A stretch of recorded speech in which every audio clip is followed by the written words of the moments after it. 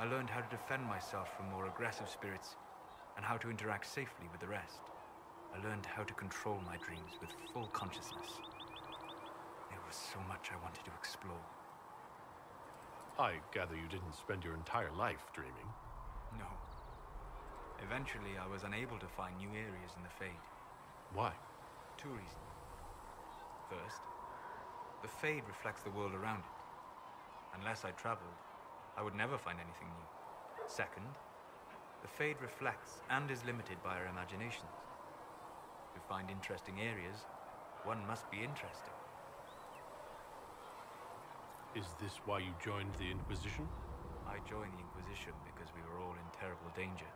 If our enemies destroyed the world, I would have nowhere to lay my head while dreaming of the Fade. I wish you luck. Thank you. In truth, I've enjoyed experiencing more of life to find more of the Fade. How so? You strengthen your body to deliver and withstand punishment.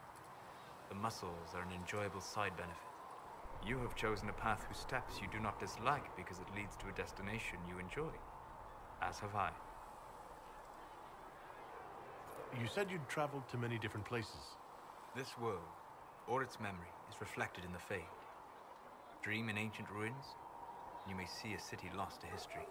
Some of my fondest memories were found in crumbling cities, long picked dry by treasure seekers, the best of the battlefields.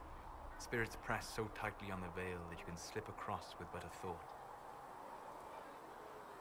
Any place in particular? I dreamt at Ostagar. I witnessed the brutality of the Darkspawn and the valor of the Ferelden warriors. I saw Alistair and the hero Ferelden light the signal fire, and Loghain's infamous betrayal of Cailan's forces. I've heard the stories. It would be interesting to hear what it was really like. That's just it. In the Fade, I see reflections created by spirits who react to the emotions of the warriors. One moment, I see heroic wardens lighting the fire and a power-mad villain sneering as he lets King Cailan fall. The next, I see an army overwhelmed and a veteran commander refusing to let more soldiers die in a lost cause. And you can't tell which is real. It is the Fade. They are all real. Have you always traveled and studied alone? Not at all. I have built many lasting friendships. Spirits of wisdom, possessed of ancient knowledge, happy to share what they had seen. Spirits of purpose helped me search. Even wisps, curious and playful, would point out treasures I might have missed. I don't know of any spirits by those names. They rarely seek this world. When they do, their natures do not often survive exposure to the people they encounter. Wisdom and purpose are too easily twisted to pride and desire. You're saying that you became friends with pride and desire demons? They were not demons for me. Meaning? The Fade reflects the minds of the living. If you expect a spirit of wisdom to be a pride demon, it will adapt. And if your mind is free of corrupting influences, if you understand the nature of the spirit, they can be fast friends. You trust these spirits not to possess you the first time you accidentally make a wish?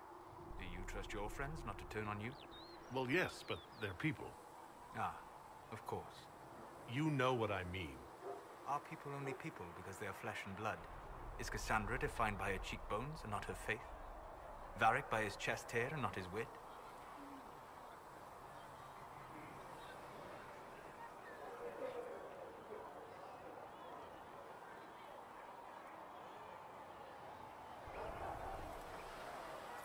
Thought about it that way. But I see your point. I. Thank you. Few are willing to entertain such a notion. We'll talk later. Goodbye.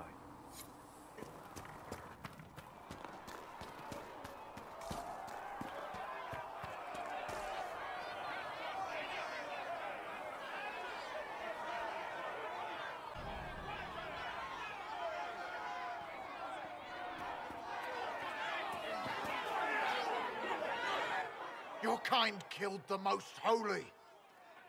Lies. Your kind let her die. Shut your mouth, mate! Enough! Knight Captain. That is not my title. We are not Templars any longer. We are all part of the Inquisition. And what does that mean exactly? Back already, Chancellor. Haven't you done enough?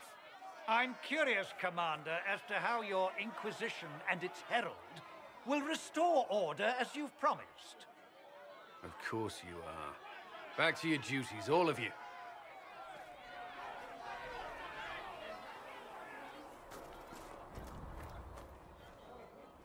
Mages and Templars were already at war. Now they're blaming each other for the Divine's death. Which is why we require a proper authority to guide them back to order. Who? You? Random clerics who weren't important enough to be at the Conclave? The Rebel Inquisition and its so-called Herald of Andraste? I think not.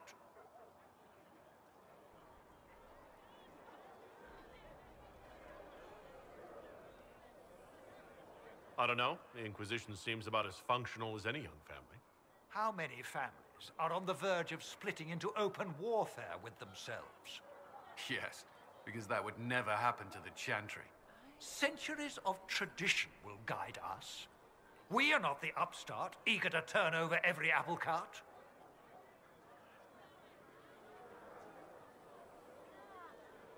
Remind me why you're allowing the Chancellor to stay? Clearly, your Templar knows where to draw the line. He's toothless. There's no point turning him into a martyr simply because he runs at the mouth. The Chancellor's a good indicator of what to expect in Val Royeaux, however. How widespread is the violence between mages and Templars? Impossible to say. Your organization flouting the Chantry's authority will not help matters. With the Conclave destroyed, I imagine the war between mages and Templars is renewed with interest. The mages and Templars are fighting even though we don't know what really happened at the Temple of Sacred Ashes? Exactly why all this should be left to a new divine. If you are innocent, the Chantry will establish it as so. Or we'll be happy to use someone as a scapegoat. You think nobody cares about the truth? We all grieve Justinia's loss. But you won't grieve if the Herald of Andraste is conveniently swept under a carpet.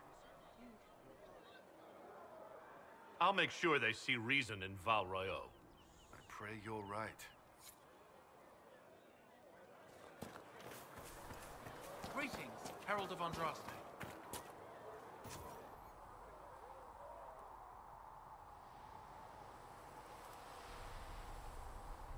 We can get that for you right away, sir.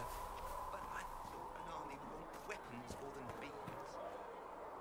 Did you need something? Anything I should know? I've nothing to report at the moment. Let's talk about you. Me?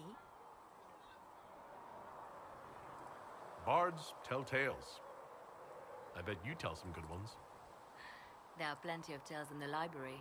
Perhaps you should look for them there. What did you do before you worked for the Divine? I was a bard, an Orlesian spy for many years. For a time, I also served a small cloister in Lothering. After the Blight, the Divine called on me to oversee her personal network. Can you teach me to be a bard? Being a bard is so much more than being a spy. It involves a keen understanding of politics, the ebb and flow of influence, the great game. The Bard's is an intricate dance where a smile can be sharper than any dagger. The best way to learn is to immerse yourself in it. Perhaps when this is all over, I'll teach you. I should leave you to your work. We can always talk later.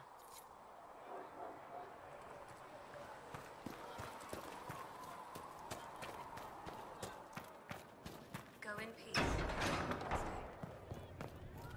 O Creator, see me kneel, for I walk only where you would bid Do you me. need anything more, Stand Revered Mother?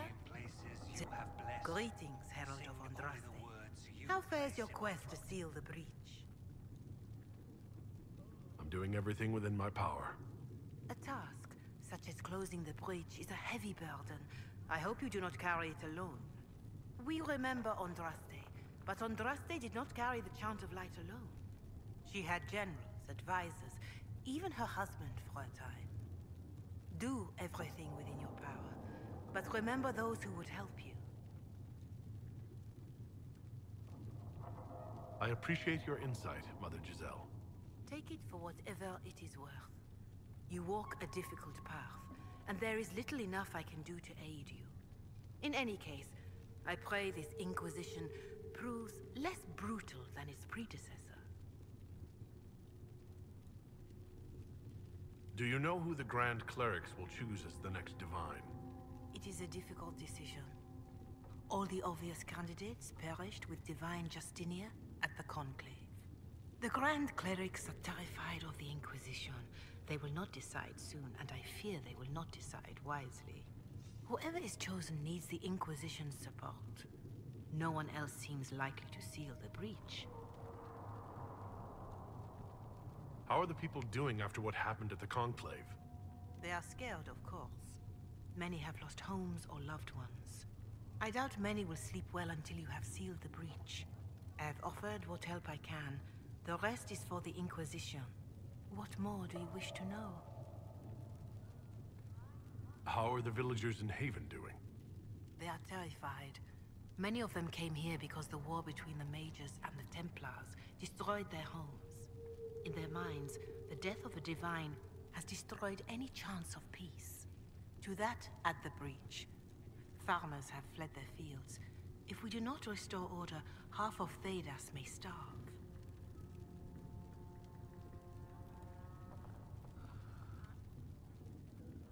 What are you doing to help these people? My sisters and I have been tending to the injured as best we are able. Some refugees come with food, while others arrive empty-handed. I have helped ensure that all have enough to eat. Beyond that, many simply wish the familiar comfort of the Chant of Light. It is little enough work to offer some comfort to those in pain. Do you have information on people elsewhere? The refugees in the hinterlands are desperate. Without help, starvation or war will claim many lives. Villagers in Crestwood are besieged by their own dead. They have sent word begging for assistance. People are vanishing in the hills of Emprise du Lion. It may be demons or something worse, but they are terrified. More than that I cannot say. It is a chaotic time for all in Orlais and Ferelden. Farewell. Until next time.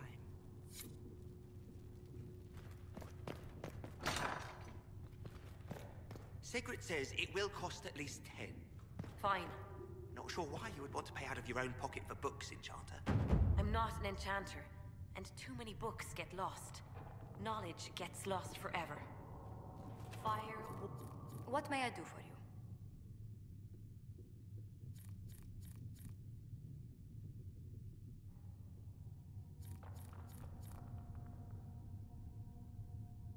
What do the people make of us? Despite our fame, we're low on steadfast allies. We must aim for more.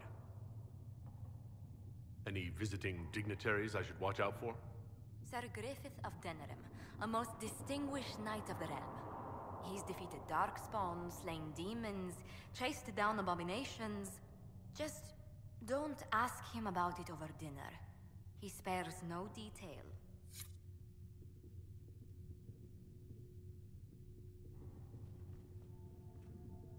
What may I do for you? Let's speak later. Goodbye.